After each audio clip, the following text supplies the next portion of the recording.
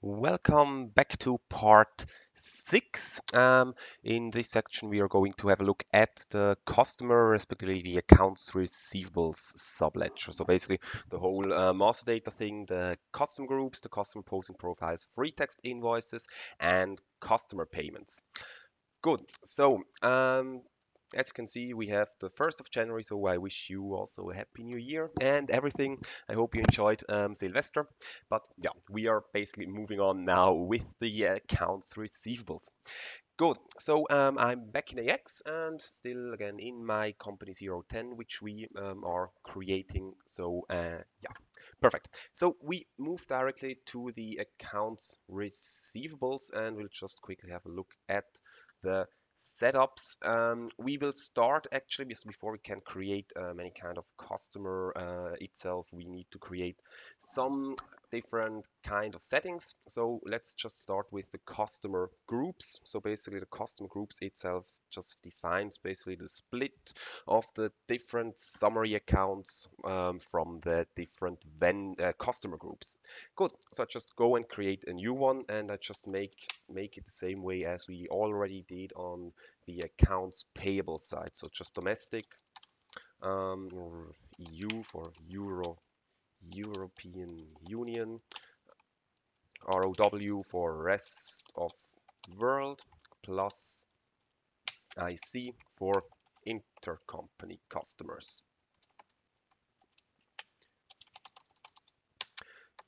Good, perfect. So um, we then can go to again back to setup and we just need now to um, say which customer group should go onto which summary account and this is basically defined in the customer posting profiles.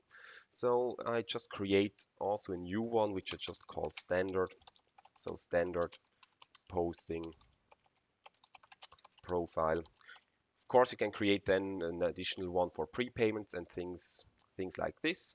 Uh, again, um, we are just going to make the, um, the logic based on the customer group itself. So we just say that the domestic are going on specific account, which doesn't exist yet. So as you can see, we already created the vendor summary accounts, but not yet the one for the customers. So therefore, at first, I can save it, I guess it's fine. Therefore, we need to go at first to the general ledger, then to um, no, um, okay, chart of account, accounts, and then main account. And in here, just with Alt and N, we are able to create a new one. So it's 11000 customers, domestic, domestic uh, it is a balance sheet account and since this one is just posted over the subledger, we just need to tick here, do not allow manual entry. As I already said on the accounts payable side, never tick the foreign currency revaluation because we are going to reevaluate it um, over the subledger and not directly in the general ledger. Good, then 11010 is customers European Union Again, a balance sheet account. We save the record. We tick here the do not allow manual entry, Alt and N 11020 customers rest of world. Balance sheet, save, do not allow manual entry, Alt and N, and the last one, 110, let's say 50 for customers or intercompany customers. Again, balance sheet, save, and do not allow manual entry. Good. So now we can go back to the accounts receivable, to the setup, and to the custom posting profiles. And if I changed here to the edit mode, then I'm able to say here uh, which one I want to choose. And because I've chosen here the group domestic, I of course need to map the domestic one to the um, summary account customers domestic.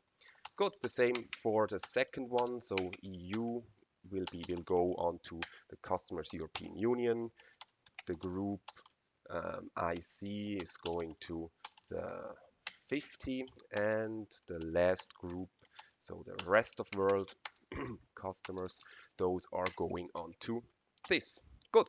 Perfect. So um, the posting profiles are already done now. The customer groups as well. Let's go back to the setup. And one important thing is in the beginning that you need to add the standard posting profiles as well to the accounts receivable parameters. So in the parameters itself under ledger and sales tax, we just have to define the normal standard posting profile which means nothing else than AX knows now that he should post with he should post the whole thing with uh, this posting profile.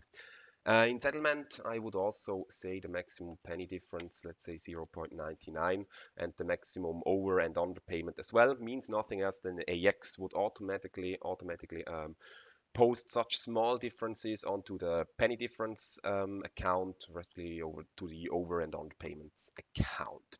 Good. So uh, what else? Um, in the setup we have this one is fine, this is fine, this is fine, perfect. What we also go to create in here, we already did it on the uh, accounts uh, accounts payable side, so the method of payments and the terms of payments. So it means nothing else than I can go in here into methods of payments and I normally also create here just based for, for each bank. In the end I'm also just going to create one method of payment. Um, it's basically because the good thing is then later on when you are going to post the payments that AX automatically gives you the offset account so automatically the correct bank account and you don't have to choose anything actually good I say UBS Swiss francs and in here in the posting types I say bank and I can choose here the bank account. On the accounts receivables itself, I would not go over a bridging account. We did it on the accounts payables. On the accounts receivable, it just make sense in some cases, for example, for check payments or whatever. Here as well, the file formats, um, it means nothing else than you would be able to add uh, in here kind of import formats like for Switzerland um, ESR uh, imports or whatever in the end. For the moment, we just leave this way. So because um, there are not yet that many import formats available actually. So just uh, two formats from Japan. So uh, we just skip it for the moment since this is a technical preview. There is not yet everything available. Good, I create as well one for UBS Euro, UBS Euro. Maybe also to say the period on the accounts payable side, it should be total normally. Here you can leave it with invoice. Good, um, the bank and the bank then of course is UBS Euro and we also don't use a bridging account. Good, again the setup, terms of payment, let's just have a quick look. So we have here those from the accounts uh, payable already available. So this is basically fine for the moment. The same should be valid for the cash discounts. So we also have the cash discounts payment method already available based on the ones that we've created in the accounts payable.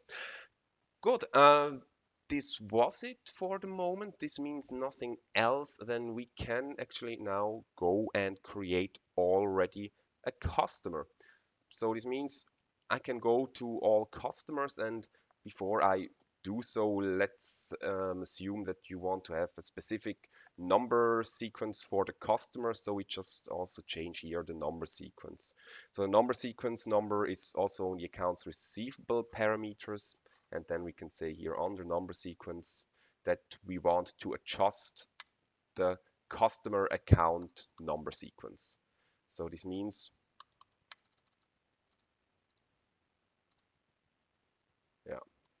I just quickly go back. It seems that when you are already in this field, then you cannot jump to the related table. But if you just click somewhere else and then click on it, not even then, no, then it is, then it is possible. Right. Good. Um, so let's say we do want to have that we want to have the customers in a way that it starts with uh, 500,000.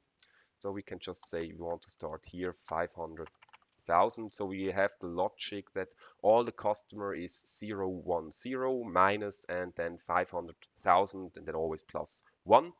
Uh, on the accounts payables, we have it with 800,000, so just that you always can distinguish between uh, a customer and a vendor just based on the number. Good, I click on new, and in here I can then say my first my first customer it's a domestic customer and therefore the currency is euro. He has net 30 days. Sales tax group we need to add it of course. It is a C domestic.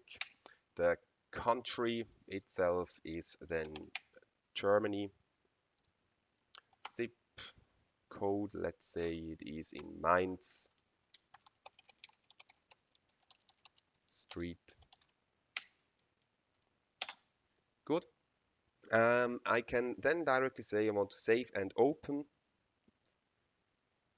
the customer I wanted actually. So I just clicked on save. Because there is one thing missing under the payments default we need to add here then as well the method of payment. And since it is a euro customer you will normally pay it to the UBS euro account hopefully at least. And yeah perfect. So I can save this customer and we have our first customer already available I create quickly a new one so I say my first ROW customer. So the, it means nothing else than it is from somewhere else in the world. Somewhere else in the world has 60 days. Sales tax group is then C rest of world. And let's say he is in Switzerland. Um, 8640 um, Alpe Jona, Jona Straße. And the city is Rapperswil. Good. Okay, I save this customer as well and I, I'm directly on the customer. This is fine. I go to the edit mode and add here as well the UBS, so the method of payment. Um, I'm not sure if I changed the currency. Let's quickly check. No, I didn't. So the currency should be, of course, so the default currency, of course, should be then Swiss francs. Good, I save it and this means now nothing else than we have already our customer available and we are or should be actually already able to post our first free text invoice. Uh, free text invoices are basically invoices which are not done over a sales order, which means in the end, normally nothing else than it is um, non-operational sales. So from a from a Swiss chart of account um, logic, it would normally go on to kind of a 80,000 account, so non-business related revenue, or it can also be a reduction of costs, but it's, it is normally not going on to um, a 30,000 account, so it's not an operational sales. Good, therefore we are just going to create, um, of course we need to have a kind of an account to post on it, which means nothing else than we are just going to our general ledger accounts and main accounts and just created with Alt and N again a new main account.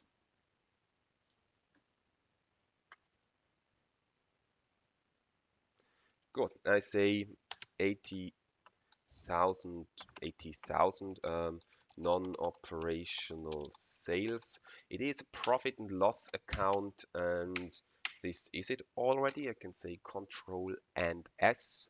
Uh, do not allow manual entry. Uh, is of course not ticked because well uh, we, di we directly post onto this account over the free text invoice. Good. Um, yeah, so let's go and add here as well kind of a validation. Uh, we we just say that we always we, we want that it is not possible to post without a VAT code onto this account. It is quite an important setting actually because with this setting you can basically then say okay which main accounts um, is a, a, VAT code needed and on which it doesn't matter.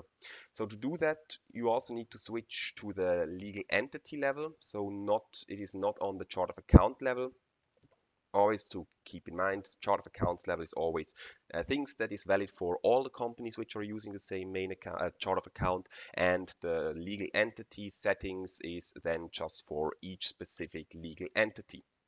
Good. So I just click here on add. And I can then choose here uh, my company.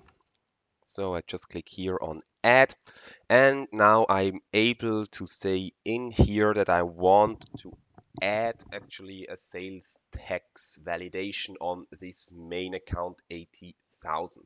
So I click on sales tax and now I have several options. So I can say here um, I can say, okay, it is optional, which is the default, which is a default value, which means nothing else than uh, AX doesn't check anything at all.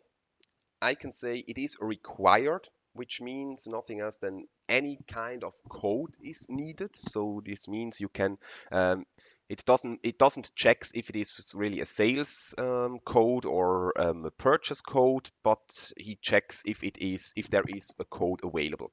You can also say just one is valid. Then I can say, okay, I want to say in here which sales tax code it is, or I can specify a list. Good. And in the list, I can say, we are doing it over the list, for example, I can say, well, okay, on this main account, just all sales VAT codes are allowed. So this means nothing else. And I can say, well, sales export would be allowed. Um, beside that, also sales of goods European Union,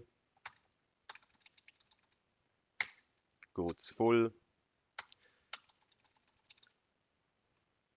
goods reduced, goods zero, service European Union,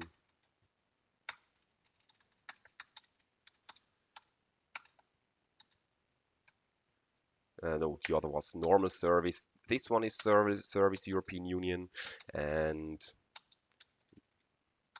yep, those are all. Good. So this means nothing else than we added here our first VAT validation on this main account and said just that it needs to has um, it needs to have a VAT code and just sales VAT codes are valid. One important setting that you need to do that this kind of check is actually um, done is in the general ledger setup.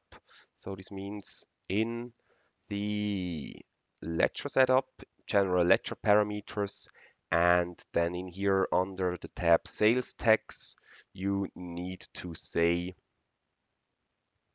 validate tax code yes if this one is not um, on yes, then nothing will be validated at all. Therefore, you just need to activate it in here.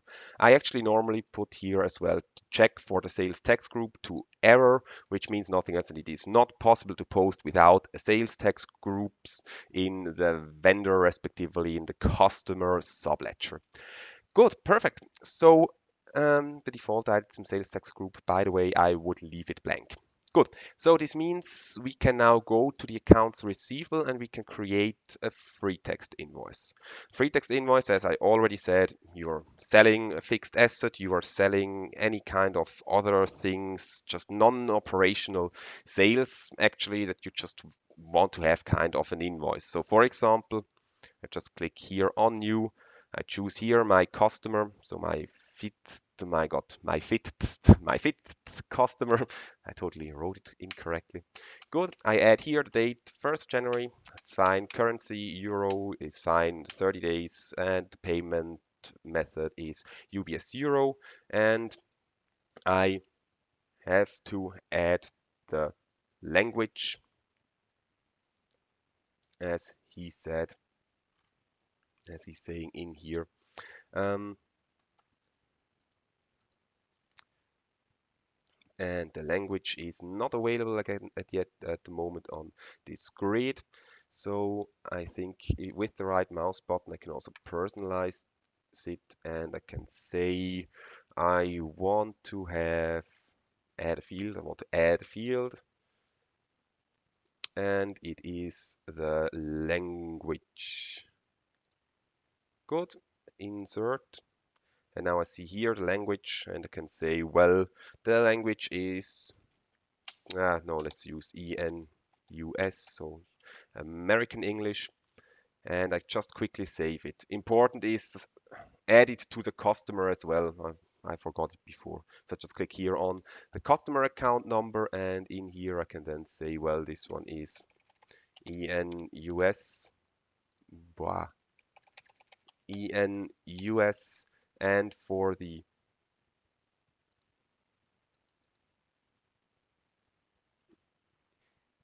ENUS save good and for the other customer the rest of world customer uh, the same thing also ENUS save it good I can go back and back again. And I'm on the free text invoice again um, I'm now in the grid view actually. I think I had somehow the option that I'm normally directly in the grid view, but you can always over options and then change view. You can just change the view from the grid view to the header view or to the line view. In my case, I go to line view now. Good, perfect. So this means nothing else than I can say um, monthly rent. So it's just a description for house at ABC Street. Good. And the nice thing is now that I can directly type in here the main account, so the non-operational sales. Good. Um, based on our setup, we need to have as well a financial dimension on this line because yeah we we said we said it in the account structure that a cost center a cost center is needed for all P&L accounts and therefore we need to have a cost center as well. And this is actually here under the line details and then in the tab financial dimensions line. Good. The unit price is 100 so let's check what is going to happen if I try to post it without sales tax code because at the moment because I just have a sales tax group and no item sales tax group AX would not calculate any VAT code at all which means based on our validation settings we would we expect to end up in an error and as you also see in here combination of sales CDOM and item sales group is not valid since it has no result in a sales tax code, blah, blah, blah, blah, blah. So it is not actually not even possible to do anything because we end up in this error.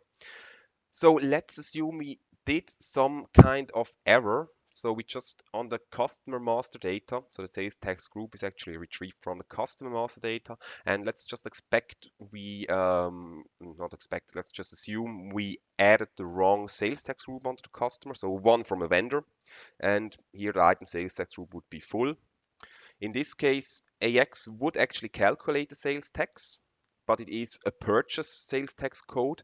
And we expect now that when I try to post it, that we will end up in an error because we just, we basically said that uh, he should he should say, so he should check if there is a sales sales tax code.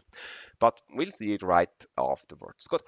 Um, I say, yes, I want to print the invoice and I can click on OK and we expect now that we have um, an error absolutely right. So I can say close and I can have a look here at the message detail and AX is telling you that the tax code PG full is not allowed for the account. So uh, our validation is actually working pretty good. Therefore, we just need to correct it. Of course, if you would have it wrong on the customer, you need to change it on the customer master data as well. Good, now this time we expect that it works, so I click on OK and I also ticked here to print the invoice, just that uh, AX sends you the, um, or AX is telling, is showing the um, the invoice either directly on a printer in a PDF file, for example. You can also send it directly via mail in a PDF form, for example. But in my case, I just want to have it on screen.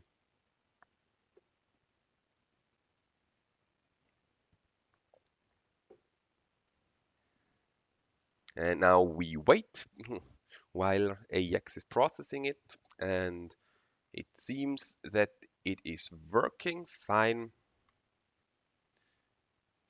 because AX is going to show the invoice right now or quite soon.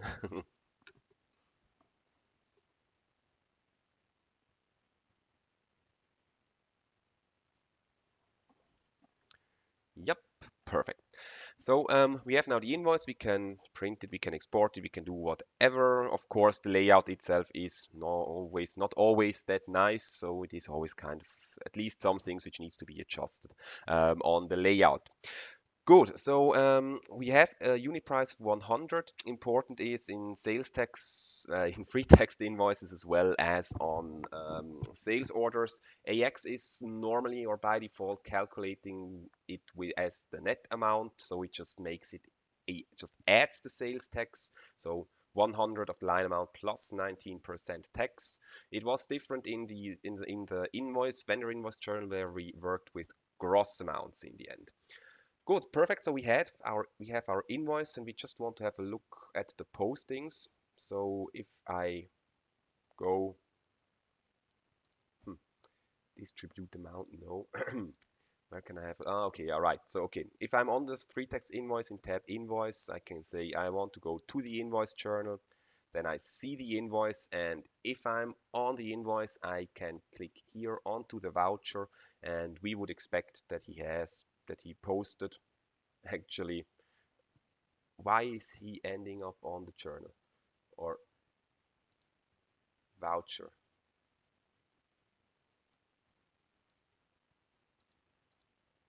Journal number why?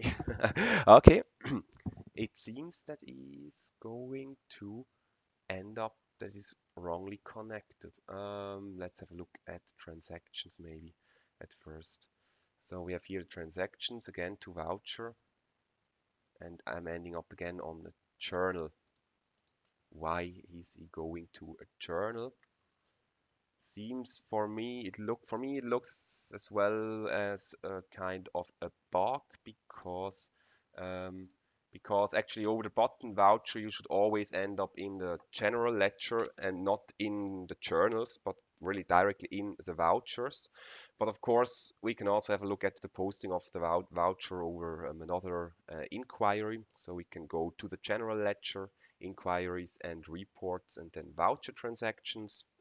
And in the voucher transactions, we can say, I just want to have the postings for my voucher, and I can say, okay.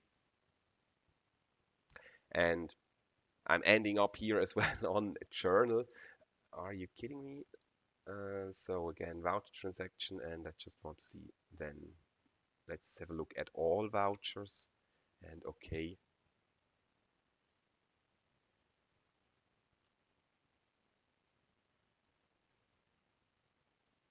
Oh, I, um, so it needs to be the one from today.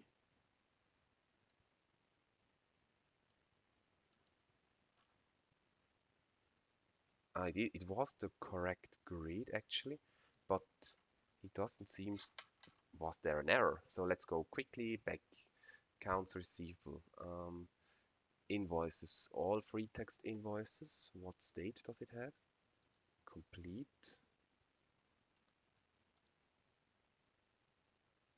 Invoice, there is an invoice posted, 1st of January two, 2016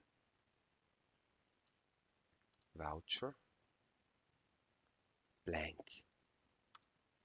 um let's have a quick look at this. it's strange but um, there can be it can be that the in the batch transfer rules bah scheduled batch never do that never do that always add here as in the in the general ledger ledger setup general ledger parameters meet parameters always add here synchronous because otherwise uh, as before he wanted to do it over a scheduled batch job so the postings into the sales subledger is not is done asynchronically. So this means it posts just the sales at first without posting it to the general ledger, which is, in my opinion, totally stupid. So always add here the batch transfer rules to synchronous.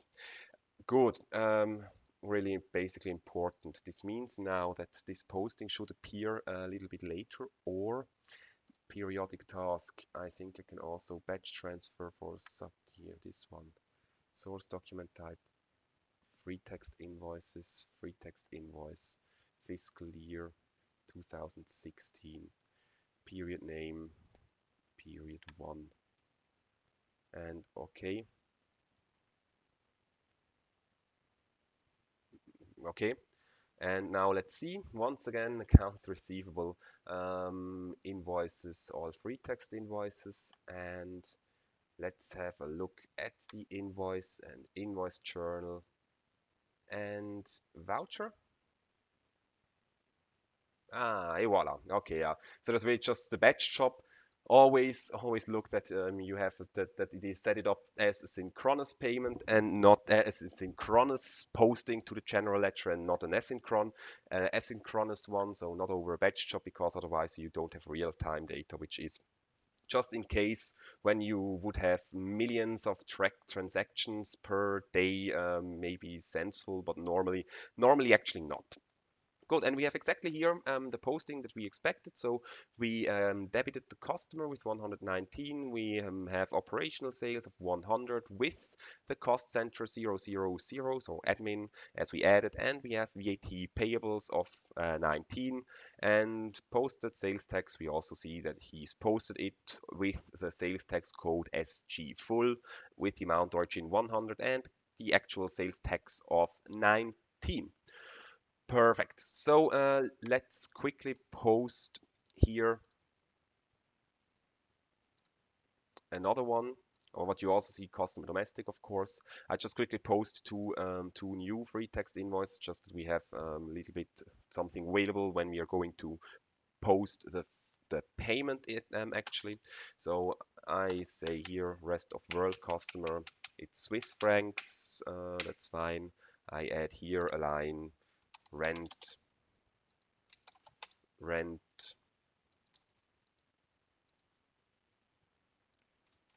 I add here one, so uh, rent two, again onto this main account. It is rest of world. I also add full unit price 200 and in the financial dimension I say here as well it is admin. Good, I post it and I say OK. Uh, I don't want to print it. Um, cancel. Good. Okay. Is complete. So we is post and because we changed now actually the rule that it is synchronous, the posting should be available as well. So if you click here now on the voucher, then it is already available. And what you see as well, based on the customer group, he posted the customer to the customers rest of the world. And of course, it is um, with an export VAT code, therefore there is no VAT. And the amount in transaction currency is 200 Swiss francs, and this is the amount in the accounting currency, which is in this mandate euro. The sales tax itself will be look, looks like this. So we have the sales tax code as export with the amount origin of 200 and without any actual sales tax amount. So also absolutely correct. So let's create the last one. So let's say an additional, so rent, rent, again, again on our non-operational sales. Um, let's just post here. This time it, it is zero. I don't know wh why this should be different than before, and I also don't know why the amount should be different than before, but it doesn't matter at all. I just say here, um, 000 for the cost center. I don't want to print the invoice, I just want to post it. Good, and in this case as well, the invoice should be posted and we also should have the voucher automatically directly available yes because it is now synchronous and the posted sales tax is SG0 which is also absolutely correct Good. So let's move on then with the payments. So the payments of the customers is also done over a journal. So we need to create a new journal, which means again, when we want to create a new journal, we also need to create a new number sequence. And since I'm still not able to um, go to the main table, um, we always need to start from the total behind because we cannot really switch from one place to another. So we need to create the number sequence at first in the organization administration, which means I can say I want to create a new number sequence. I say 010 minus um, CP, customer payments, payments. I say in the scope, it is it is not shared, it is just for the company and it is for the company 010. I don't want to have the company, but I want to have a CP and it should have six digits and the largest number should be then of course 999,999. Uh, I can then go to general ledger, general ledger and then journal setup and journal names. And in here I can click Alt and N to create a new customer payment journal, customer payments off with the journal type customer payment and the voucher series should be our newly created voucher series which can't be chosen because it is not continuous because I forgot to add the continuous one. This means I cannot save it. This means I need to delete it and I just need to choose here. Just I need to choose one that I can save it at least before I go and switch it back. So I save it. I go back to organization administration. Number sequences number sequences. Um, the CP I go I click on it. I switch to the edit mode, I say continuous, yes, here and save it. And now I can go back to general ledger and to our journal. Right, and I go to the edit mode, I add here the voucher series, I save it, and now it's work. It is working absolutely fine. Good. So let's go now to accounts receivable and let's do our first payment. So in the section payments and then payment journals, I can go and click Alt and N or onto the plus button here. I can choose my customer payment, my first customer payment. I can go to lines or I can go to enter, enter customer payments. I actually like this um, that is screen here, the enter customer payments section, because if I click on this, I have actually two options. I have, I have either the option to search by a customer or I can search for a transaction. So this means always depending on what kind of information you have, you can choose, should I search for the customer or should I search for the transaction, like for example, for the amount. So let's assume the first one is we know that it is um, our first customer. So the first payment that we that we uh, get is from my first customer. So this means nothing else than I can go in here. I can say I'm searching for my first and I can say instead of begins with I can I guess still work with this kind of syntax with the stars. Not anymore. Really not anymore. It seems so that this is not anymore working so this means do I really always have to change it up here? I hope not. In the prior versions of AX, we could always work with the stars, and I always worked with the stars, and just basically not that I always had to choose here, yeah, which one it is, but um, anyhow, so this means Ach so, I had, of course, I had a typing error. So I just say, let's try it. This exactly. And star FE star. Nope, this is not working. Um, contains. And then I really need to take my my fit. So I just say it contains this one. I want to have so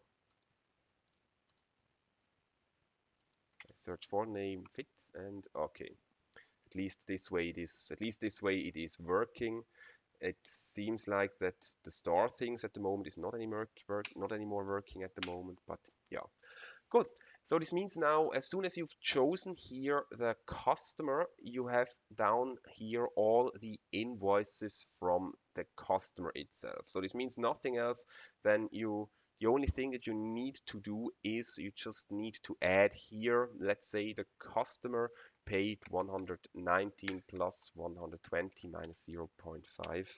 So let's just, oh come on, the calculator is also gone. Oh, that's a pity. That's really a pity.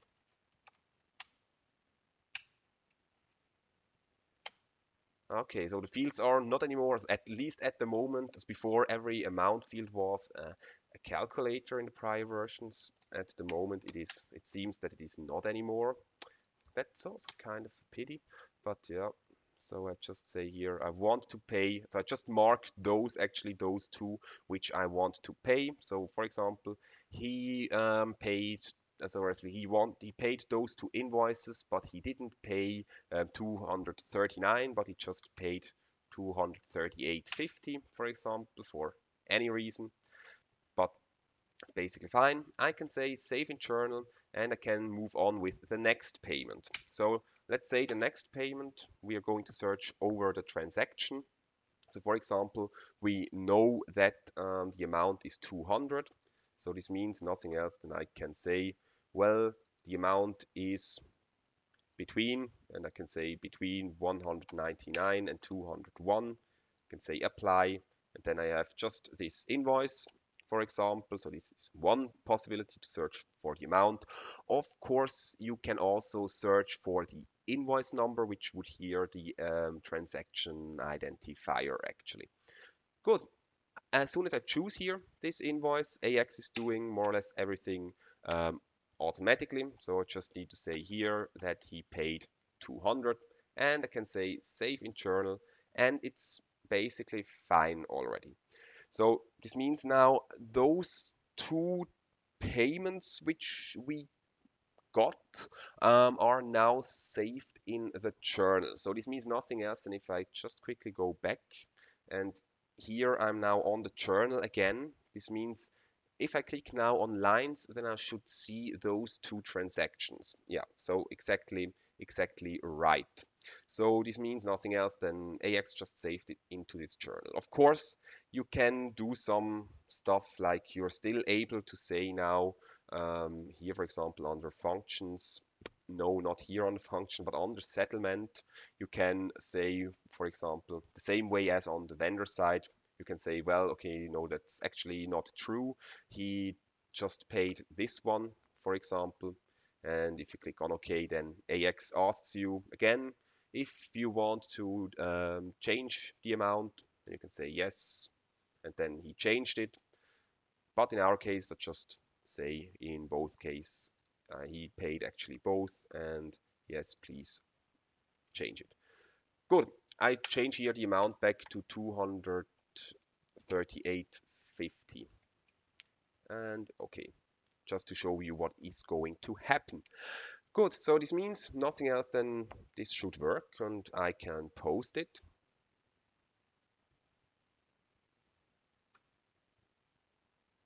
You have new messages. Number of posted voucher is absolutely perfect. And what you see here as well is posting result for journal batch voucher number blah blah blah zero so 50 cents uh, is automatically posted to the over respectively underpayment account Remember, we've added the 0.99 um, 0.99 um, euros as a threshold for automatic postings as over and under payments, which means nothing else than if I go here to inquiries, no, not anymore, it's here to voucher. Let's have a look at first to the 200. So if you click here to vouchers, then I should, should just see here that he reduced the customer rest of world summary account. So this one is zero now. And he posted it onto the bank Swiss franc account. So onto this account number with 200 Swiss francs. So totally correct.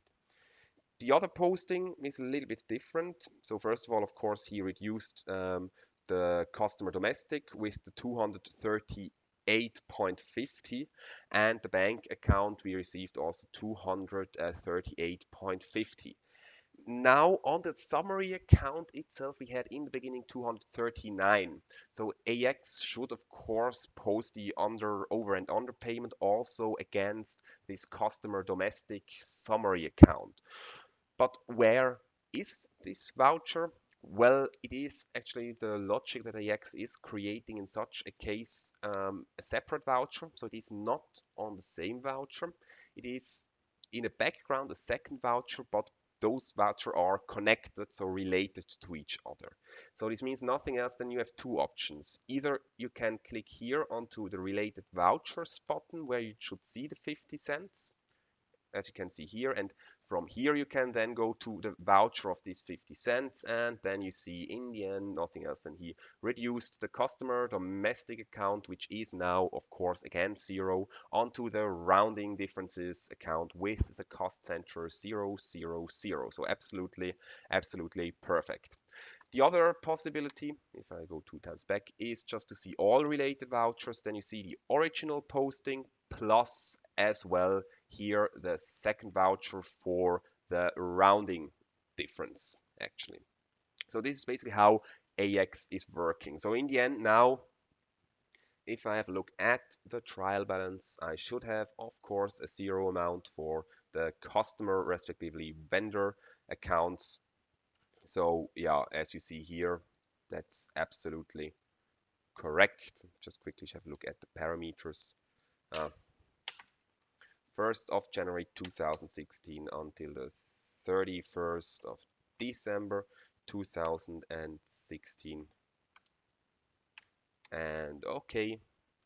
And as you can see here we have in total on the customer on both um, a zero balance in the end and we just have some uh, non-operational sales so perfect. This was it for this section. I think we covered um, everything in in here. Yep absolutely absolutely. Yep.